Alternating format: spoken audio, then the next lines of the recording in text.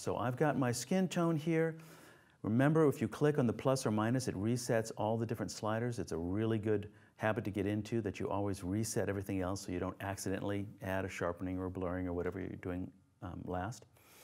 I'm going to come up here and I'm going to go this. I'm going to go over everything, including her um, lips and teeth in that whole area I said here. And you can see I'm also going part, over part of the hair. So there is the skin. If we take a look at that mask, I can hover my um, cursor over the uh, pin and see the mask. You can see how sloppy it is.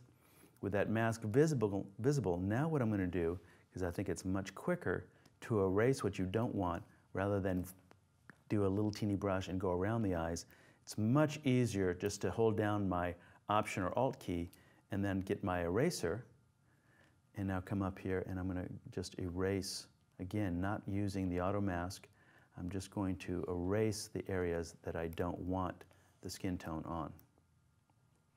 And again, you can see it's a big, soft, relatively big and soft brush. Maybe later on I will clean up some things around the neck, but for now, I'm just taking out the um, eyes and the teeth, which is really scary looking, but appropriate for Halloween. All right? So there is our skin tone. Done. Hit new. Click on our swatch. Let's come up here and we'll do our background. Our background was blue. Let's actually, we're going to add a little green, just kind of a muted mint green up here. You can see I've already got one here, but I can, again, I can use that option key, set that. We'll use that for the background um, here. And again, I'm going to even go over portions of that image. I can tap that Y key that's going to allow me to see what I'm working on. Okay? And you can see, again, I'm getting that overlap of the hair. That may be a bit, a bit much, so I'm going to come up here and get a little bit, not be quite so sloppy in that file. But again, it's that overlapping of colors that's going to give it a really organic feel to it. Tap the Y key, there is our background. Hit new, make sure you hit new because if you change the swatch, well that's still active, it's obviously going to change that. I'm going to come up here and now we'll do, I've already got kind of a little bluish one um, chosen. We're going to do that. In the olden days, just like with Superman, there was no such thing as black hair. There was always a color in the comic book. So if you wanted to do something like um, black or even white, what you'd do is you'd come up here and you'd add a little bit of a um, blue tint to the area. And we're going to do that same thing with her dress. Okay, I'm going to add just a little bit of color even though there is no color associated with it. And again, holding down that Option or Alt key,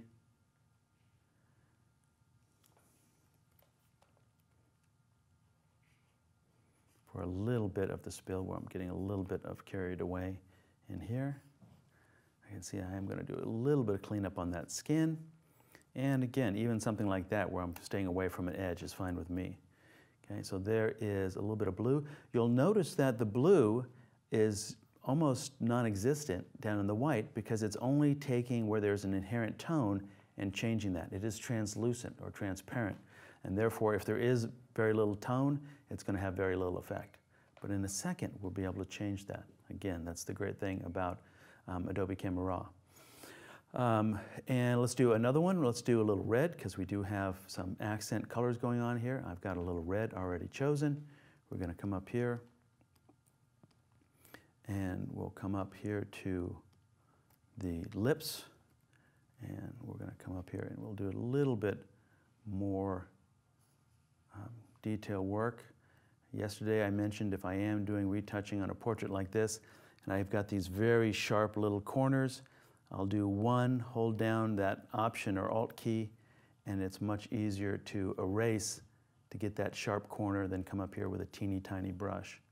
So again, that is something I'm going to do. I'll do the lower lip and then hold down that Option or Alt key in order to fine tune that shape. You'll notice again, I am using my Wacom here, and even if you're not doing a lot of painting work, any kind of retouching is always going to be better with uh, Wacom and their stylus. This is the new Intuos Pro, which is awesome, highly recommended. Let's do one other little touch here. I'm going to do the cheeks, um, add a little blush to it. I can try going in here and just tapping. That actually looks like a, a pretty good level. Remember, you do have density. If I wanted to do different intensities of red throughout the file, like the lips would be a brighter red and the cheeks would be less, there's nothing stopping you from changing density and then clicking in that area and you actually can get, in a sense, two different intensities of that same red. But in this case, that little tint right there is working for me. So I've got my cheeks, I've got my um, skin tone, I've got my hair, that skin tone, I can click back on um, any of the areas. That's the, the skin tone right here. I'm going to hold down my Option or Alt key. And there's just a little bit too much spill in the hair. I want to keep that my nice color there. So now I'm fine tuning it. If I want that skin tone, should she have blue eyes or should she have brown eyes? Blue. Blue. So if we have blue eyes, we're simply going to come up here on our blue for our hair. Again, I could use this number, any number of colors just because I have swatches doesn't mean that I have to, you know, I'm limited to those five. I can make it whatever I'd like. So let's come up here and I'll be adding a blue tint to it. Okay, so now she has blue eyes. If I want, I can click back on that skin. It looks like I got a little sloppy with the eyes, and I don't want, you know, I want the um, going around the eyes. I do don't mind the whites of the eyes being white. Same thing with the teeth.